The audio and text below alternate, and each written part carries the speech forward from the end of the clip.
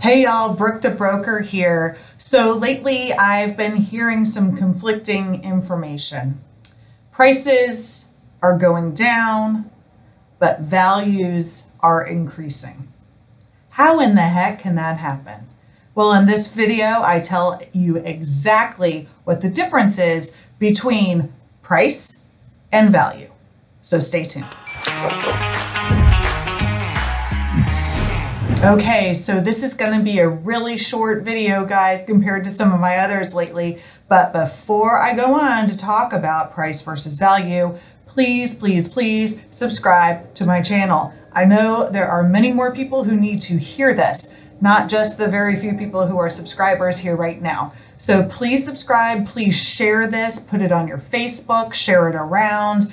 I would love more subscribers because more people need to hear the truth and the facts about the real estate market here in Fredericksburg. And if you're outside of the Fredericksburg area, some of the things I share, stats and stuff like that, might not necessarily apply to you, but things like price versus value, that is the same throughout the world. So please hit the subscribe button so we can continue to share this great information to even more people.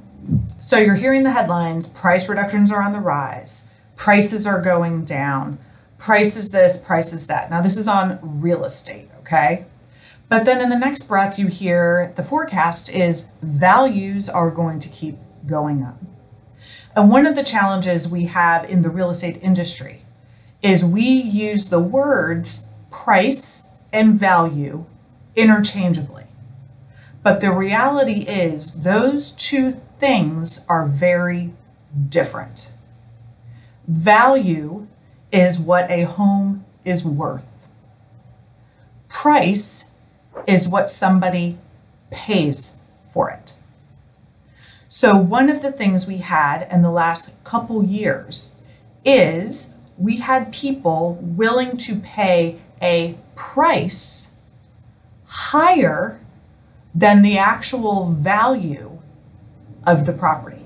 Now, I know you heard of people offering money above an appraisal, offering money above a listing price, and that is offering a higher price above the value.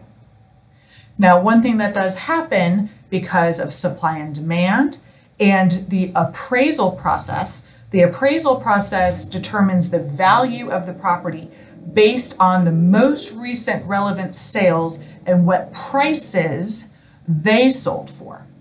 So as prices go up, the value can go up at the same time.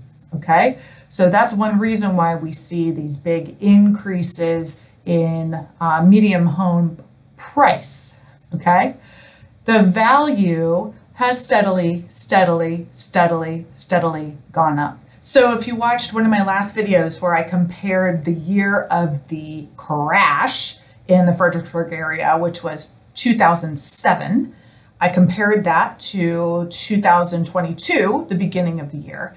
And in 2007, the average price in our area was $310,000.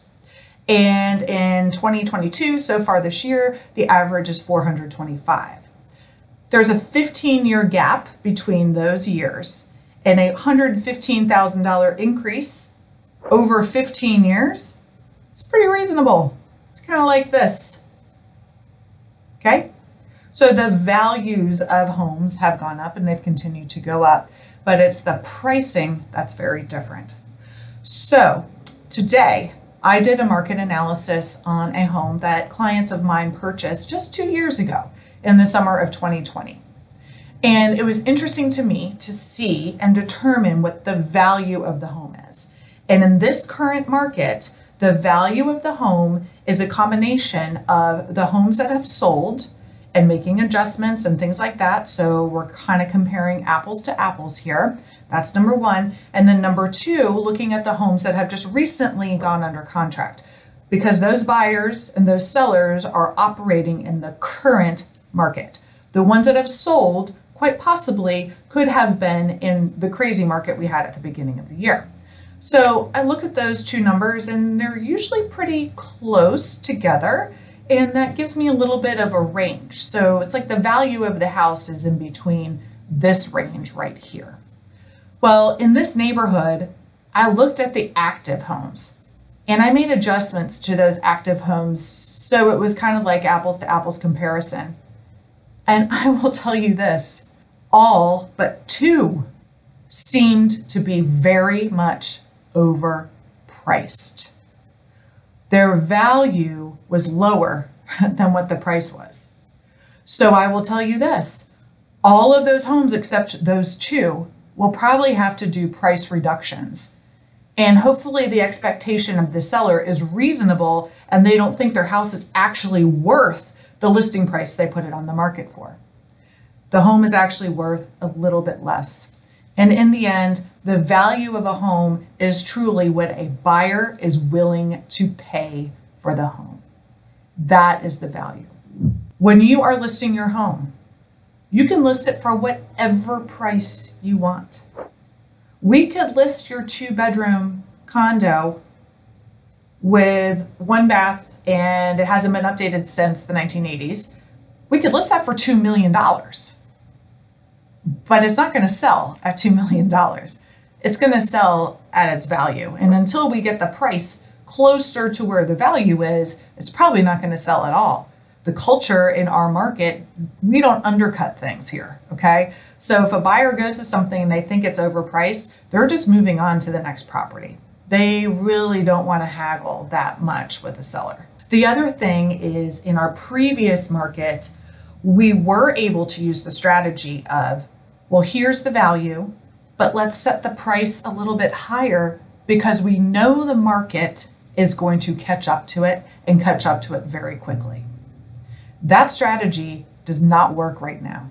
So the other two strategies that are out there that will work is number one, price it under value. It will sell very fast and it will end up selling at value, if not a little bit more. The beauty of underpricing the home is time. It happens faster. If somebody needs to sell their house in two weeks, they need to market it at a lower than value price. And just trust us, it will sell for value. It will be okay. If the other strategy is just a normal, let's put it at market value, Let's be competitive. Let's make sure our market value is competitive with the other homes that are on the market. And it will sell in a reasonable amount of time. And right now, that's 25 to 30 days. Okay.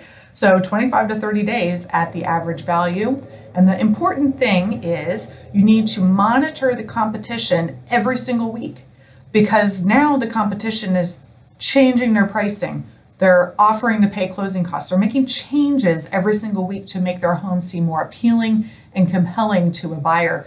We need to stay on top of that so you can make adjustments as well. There is a difference between price and value. And I am practicing using those words separately it's going to take a lot of practice because for very long we've talked about the two using the same, you know, it's the same definition, but they truly are different things. So I hope this video helped you understand from a real estate perspective the difference between price and value. And yes, prices could be coming down and you'll see price reductions, but the values of homes are going to stay pretty steady, if not go up just a little bit through the end of the year. If you or someone you know needs to sell in the Fredericksburg area, I'm your girl. I've got a great team. I've been doing this for almost 19 years. I love what I do. I study the market every single day, and I wake up every single day so excited to help my clients with their real estate needs. So please reach out, click on the links below. You can reach out to us. It's easy to schedule a consultation or download a guide or get in touch with us and we'd love to be able to help you and all of your referrals. Have a great day.